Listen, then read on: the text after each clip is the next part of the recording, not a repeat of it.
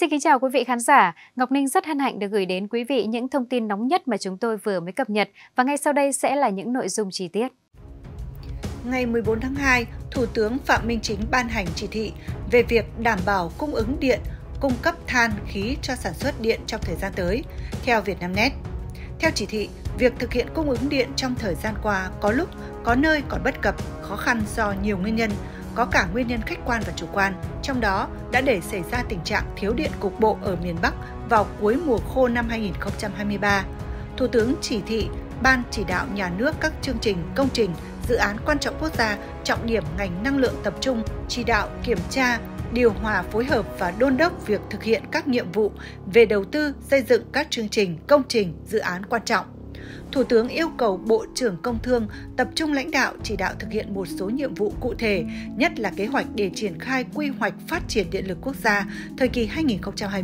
2021-2030, tầm nhìn đến năm 2050, quy hoạch điện 8. Trong đó, triển khai đẩy nhanh tiến độ để hoàn thành sớm nhất có thể đường dây 500 kW, mạch 3 Quảng Trạch phố nối, cấp điện cho miền Bắc, phấn đấu nhất định hoàn thành và đóng điện trong tháng 6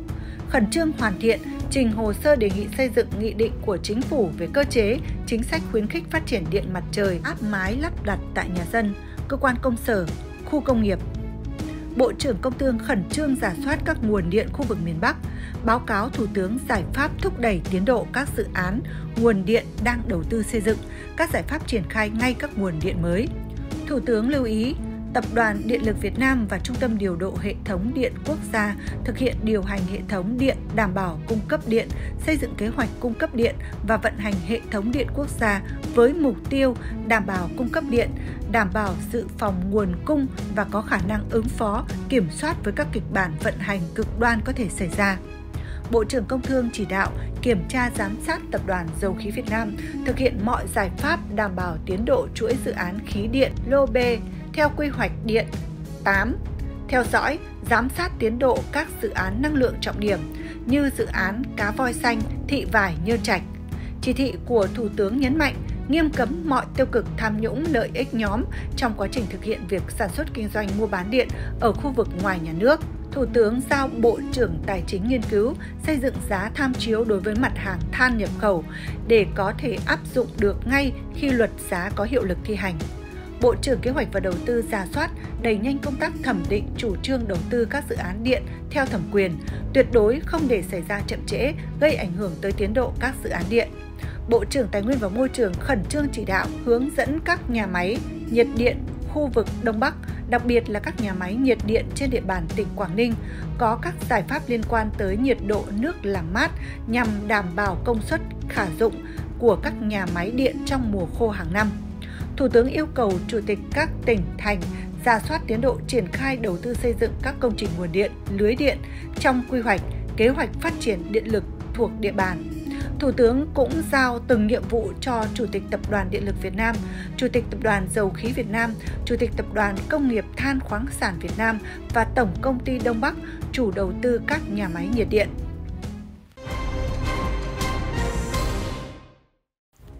Theo ông Nguyễn Anh Tuấn, Giám đốc EVN, trong năm 2023, giá bán lẻ điện bình quân đã được điều chỉnh tăng hai lần. Tuy nhiên, không đủ bù đắp được chi phí sản xuất điện do các thông số đầu vào vẫn duy trì ở mức cao nên EVN tiếp tục bị lỗ sản xuất kinh doanh điện năm thứ hai liên tiếp.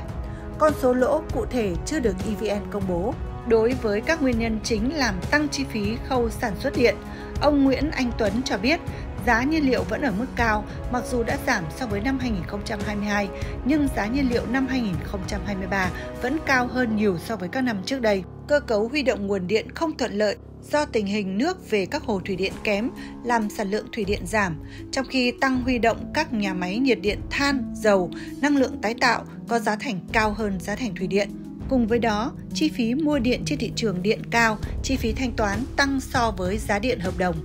Kết quả, doanh thu tập đoàn đạt 497.000 tỷ đồng, tăng 5,4%. Không thông tin về mức lỗ lãi của tập đoàn, song ông Tuấn cho hay lợi nhuận cổ tức tại các công ty cổ phần đạt 8.904 tỷ đồng. Trong bối cảnh tập đoàn không đảm bảo cân đối tài chính, cho thấy những điều rất bất bình thường. Số lỗ trên chủ yếu do giá bán ra của EVN vẫn thấp hơn giá thành.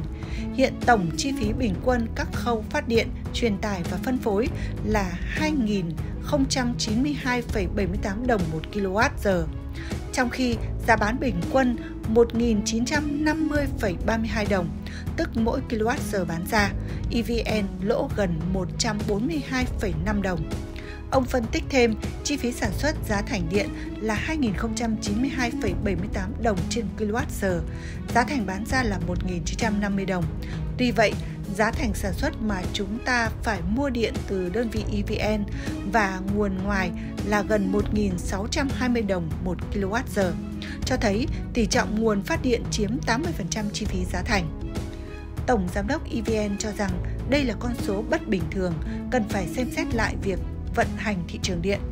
Bởi thực tế, từ các nước, giá thành sản xuất điện từ nguồn phát dao động từ 40 đến 50%, còn lại các khâu truyền tải phân phối, trong khi ở nước ta chiếm tới 80%, ảnh hưởng cân đối tài chính và tối ưu hóa hoạt động.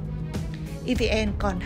20% để điều tiết các khâu còn lại như truyền tải phân phối nên rất khó khăn trong tối ưu tài chính, không muốn nói là bất khả thi. Ông Tuấn nói và thêm rằng chính sách thị trường, giá điện cần được cấp có thẩm quyền xem xét, thay đổi để hỗ trợ tập đoàn này trong cân đối tài chính. Trong bối cảnh 2 năm không cân đối được tài chính, năm 2024 tiếp tục đối mặt với một loạt thách thức, ông Tuấn bày tỏ mong muốn sớm có điều chỉnh chính sách về giá bán lẻ điện. Về đảm bảo cung ứng điện cũng vướng mắc nguồn bên ngoài chiếm từ 52,7%. Tổng Giám đốc EVN kiến nghị Ủy ban Quản lý vốn nhà nước tại doanh nghiệp xem xét cho tập đoàn này loại trừ một số yếu tố khỏi khoản lỗ để có nguồn trả lương cho người lao động. Ông Tuấn cũng kiến nghị Bộ Công Thương xem xét đánh giá lại thị trường điện để điều chỉnh có thị trường điện minh bạch hơn trong thời gian tới. Phát biểu tại hội nghị, ông Đặng Hoàng An, Chủ tịch EVN cho rằng trong thời gian tới, nội bộ tập đoàn này phải nỗ lực tiết giảm, siết lại các chi phí từ vận hành hệ thống, mua điện, đàm phán hợp đồng mua bán điện, mua sắm, vay vốn. Tập đoàn cũng triệt để chống tiêu cực tham nhũng trong nội bộ. Những vụ việc xử lý cán bộ bị khởi tố gần đây là sự đau đớn xấu hổ của ngành điện, Chủ tịch EVN nói thêm. Thực tế, với tổng nguồn điện cung ứng từ các tập đoàn nhà nước EVN, PVN, TKV gần 48%, nhưng EVN hiện là người mua duy nhất trên thị trường, nên khi xảy ra thiếu điện, tập đoàn này chịu trách nhiệm chính. Việc xảy ra thiếu điện năm 2023 là bài học đắt giá của tập đoàn. 23 ngày thiếu điện nhưng đã ảnh hưởng lớn tới môi trường đầu tư kinh doanh. Ông Đặng Hoàng An, Chủ tịch EVN thừa nhận.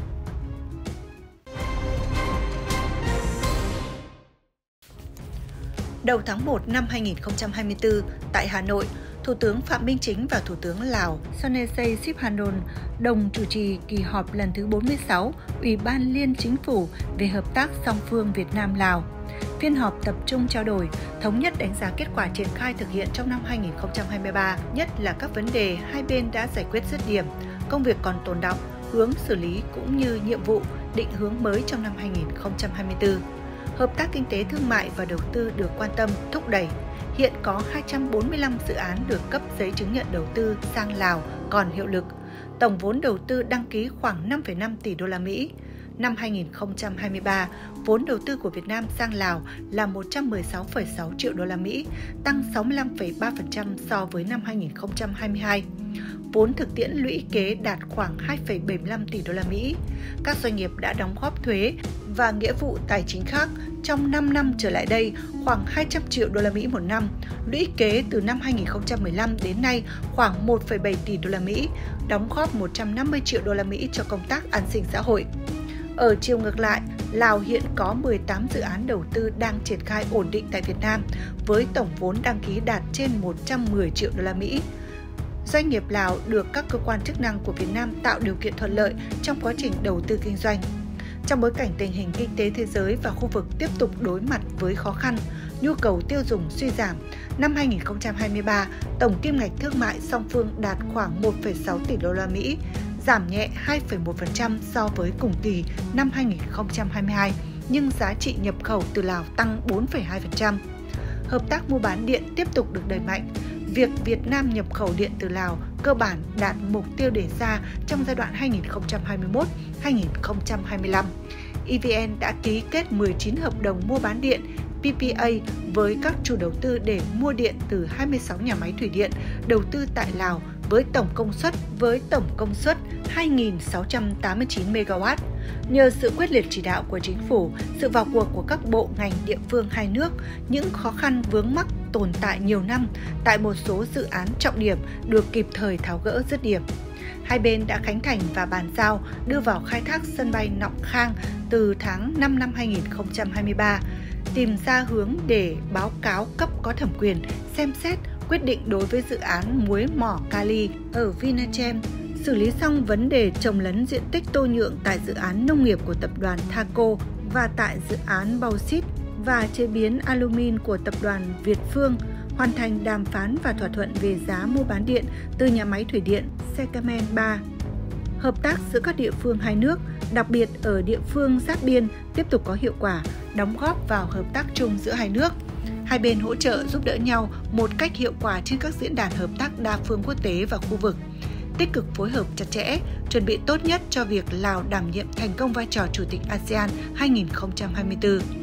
Về trọng tâm hợp tác năm 2024, hai bên thống nhất tăng cường trao đổi thông tin, chia sẻ kinh nghiệm quản lý kinh tế vĩ mô, xây dựng nền kinh tế độc lập, tự chủ trong bối cảnh hội nhập sâu rộng, thực chất, hiệu quả, tăng cường kết nối hai nền kinh tế, thúc đẩy hợp tác đầu tư thương mại Việt Nam Lào, tổ chức tốt đối thoại giữa doanh nghiệp Việt Nam với các cơ quan chức năng của Lào, tập trung giải quyết dứt điểm vấn đề tồn động khó khăn vướng mắc tại các dự án hợp tác đầu tư.